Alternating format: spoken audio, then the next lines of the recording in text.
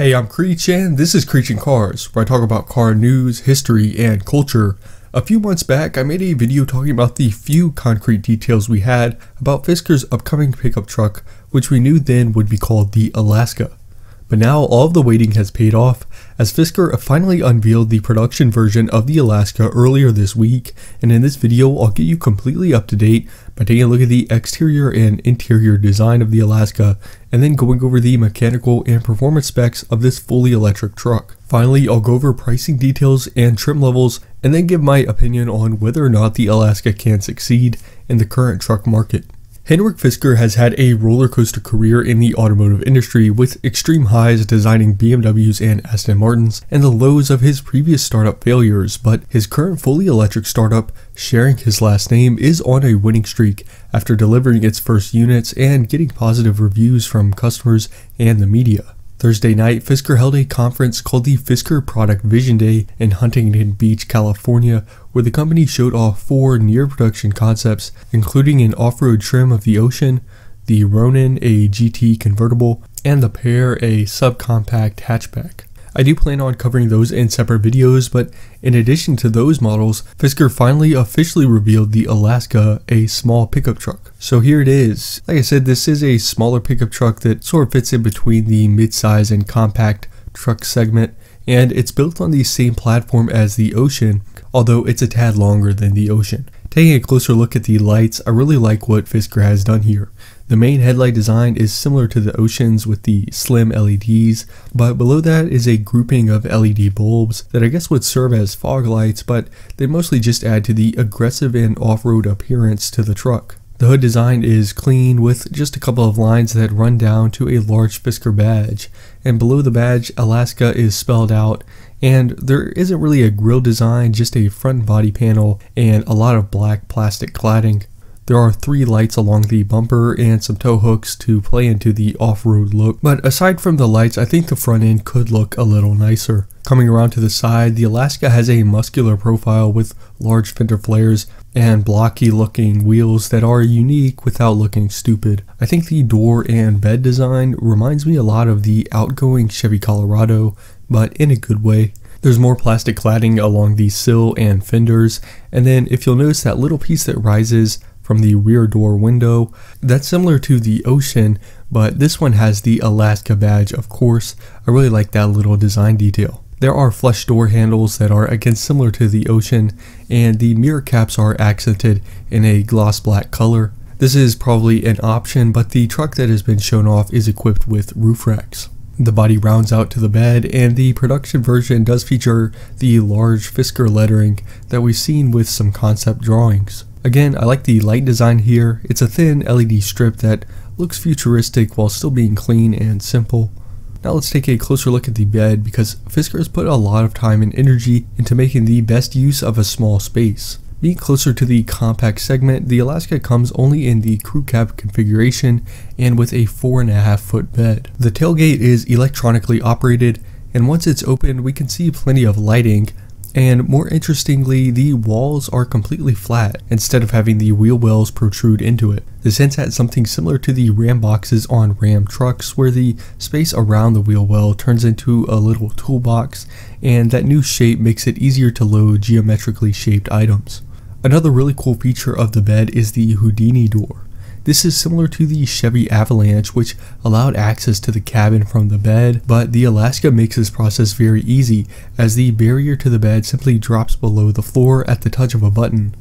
With the seats folded down, this essentially creates a 7.5 foot bed. Now let's take a look inside. Henrik Fisker says the interior was designed with a forest theme, and continuing with the sustainable mission that Fisker has had from its founding, the interior is created using only sustainable materials. The interior that's shown is mostly black with some wood trim and green trim seats, thus creating the forest theme. The wood material is made from reclaimed wood and actually has a softer fabric-like texture to it. The steering wheel is simple with a two-spoke design and a few controls mounted to it.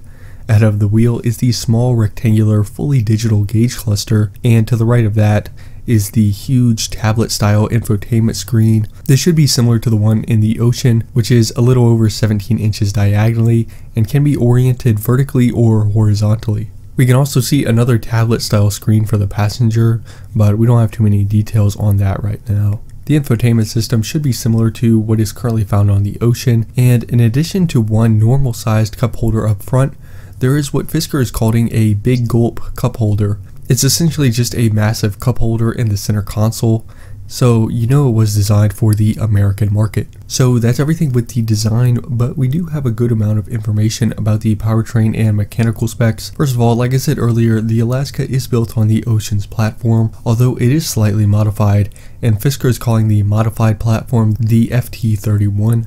Modifying an existing platform instead of creating an entirely new one will save Fisker a lot of money and time, but more on that later. We also know for sure that the base model will have a range of 230 miles with an option for up to 340 miles of range on a single charge. While we don't know specifics about the motor setup, with the platform being similar to the Ocean, we can't expect the base model to have one motor and a higher trim level with a dual motor all-wheel drive setup. Using the same setup as the Ocean, the single motor Alaska would be front wheel drive and have around 275 horsepower and a 0 to 60 time in the 7 second range.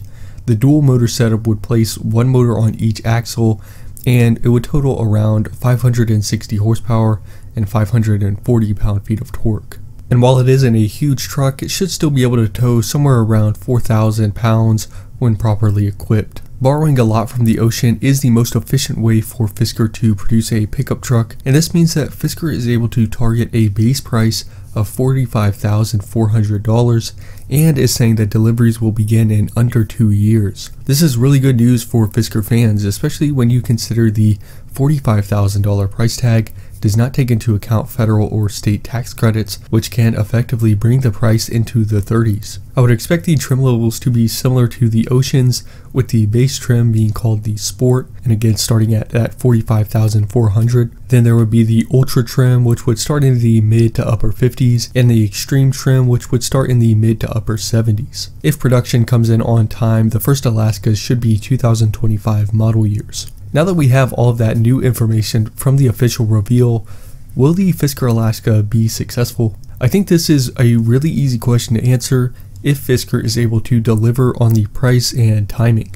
I have no doubt that Americans would be rushing to snatch up a sub $50,000 fully electric truck coming in the next couple of years, and internationally there would be a decent market for this model in areas that have the infrastructure for charging EVs. During the Production Vision Day event, Henrik Fisker referred to the car market as a pie up for grabs as we undergo electrification, and he stressed getting this vehicle to market on time so that Fisker can take and keep a good portion of the market share. Even though the Alaska is essentially a truck version of the Ocean, Fisker still has a ton of work to do, and the two year timeline is still very tight. That being said, Henrik Fisker believes the company is well ahead of the competition when it comes to developing a cheap electric truck and really the only thing left for Fisker to do is deliver on the Alaska. So that's everything you need to know about the Fisker Alaska, an upcoming fully electric pickup truck. Let me know what you think about the Alaska in the comments below, and do you think it can compete with gas rivals like the Ford Maverick? On this channel, I talk about car news like this, as well as history and culture, so if you like this video, check out some of the other videos on the channel, and subscribe so you don't miss future uploads. Thanks for watching, and I'll see you next time.